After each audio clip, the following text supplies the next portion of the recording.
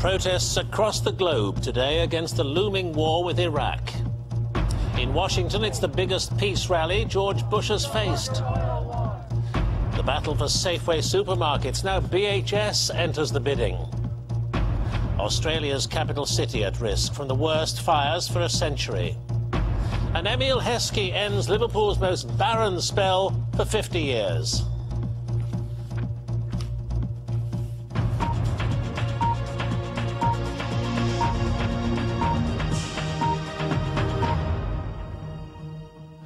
Good evening. It's been a day of demonstrations in 18 countries worldwide against the prospect of war with Iraq. From Toronto to Tokyo, in cities across Europe and the United States, peace activists have gathered in a series of coordinated protests.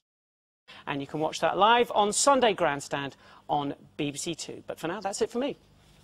Chris, thank you. And the main news tonight, there have been protests across the globe against the looming war with Iraq. Washington saw the biggest peace rally since the crisis began. That's the latest. There'll be news throughout the night over on BBC News 24, but from Chris and me, good night.